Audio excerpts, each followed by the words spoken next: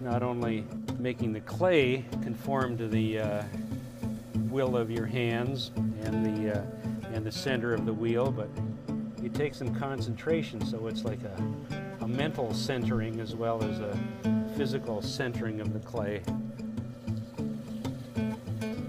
A lot of times it's playing in the mud. Start out with a lump of clay and you end up with something. Often I'll start with the light and the dark and then work the in-between colors. It's a meditation. I love the glazing. I just, I hate getting my hands mucky with clay. A day at the office with Carrin Rossetti and Richard Grushala flows easily from one artistic endeavor to another. The studio hums with a creative confidence and a gentle give and take. Could you add one more line to that? Sure. The two artists create fine ceramic artwork together. Each piece is shaped by a shared vision, enhanced by their individual talents. This piece is beautiful the way it is, but I prefer when he adds one more line. So there would be two lines of copper wire, and then this line I can glaze with a solid color. It just sort of sets the, gives the piece a bottom. I don't know.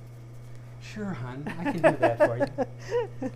he really is really precise in pretty much all of his, uh, I think, his throwing and creating.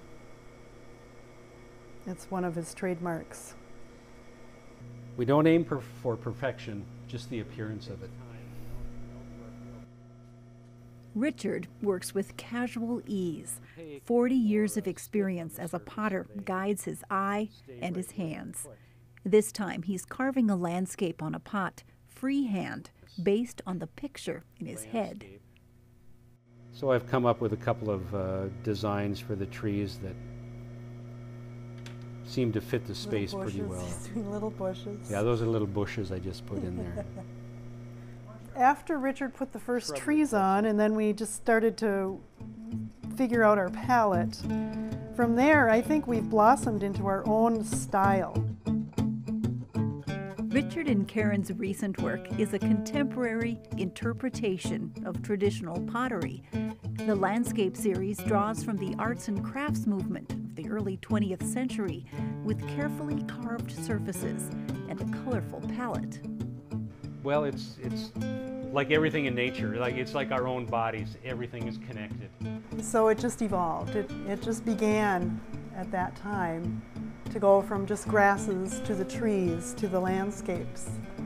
And it's, it's, to me, it's been some of our funnest work.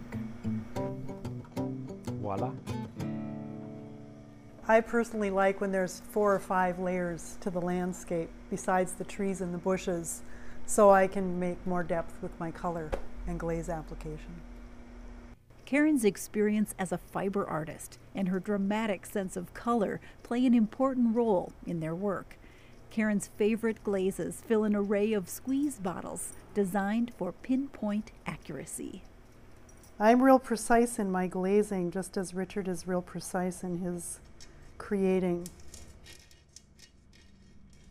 She's greatly exceeded my expectations. And luckily, Richard makes beautiful carved lines. And now I have to decide is this part of the tree or is this part of the landscape? Oh, that's that's tree. That's tree. That's tree. Yeah, they see it's going behind that hillside. Her sense of color is, of course, you know, coming out in the work, which is a point where I, I never would have gotten to on my own.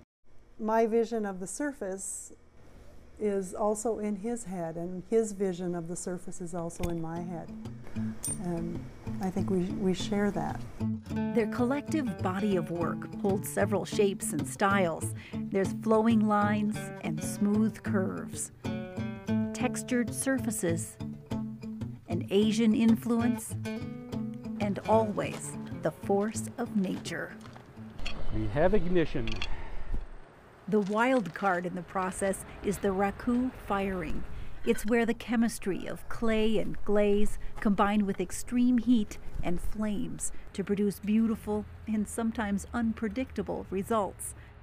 And those pieces I took directly out of the kiln and put them into the uh, wood shavings because I want a heavy reduction on these pieces. And what a reduction will do is it will draw oxygen from the materials that make up the glaze, so it will change their composition slightly. Now this shot of uh, compressed air just forces that uh, contraction of the, uh, the surface skin on the pieces. And what I'm after here is a good uh, crackle effect along with the, uh, the color of the glazes. Each batch is cautiously placed in the kiln, brought up to temperature, and carefully finished with fire. There's intuition, there's, there's uh, uh, pre-knowledge or, or uh, uh, experience, I guess, that, that lets you know what's going on or, or, or helps you to understand what's going on. It's always winging it. Now let's see how these bigger pieces turned out. See if they got glitzified. We'll have to take this inside and scrub it and finally reveal what the actual colors are underneath here. They're all our children. They're all our children. they all stand up straight. You know. Yeah. Uh, I think this is a gorgeous piece here. I love the way they come out when they're when they're cleaned up. That's my favorite just- out of this firing. They're just so lively. It's a we. You know, it's it's it, it really is a collaboration. It's us that are doing it, and and um, that melding of the, the the separate people. That's that's a great thing to have learned.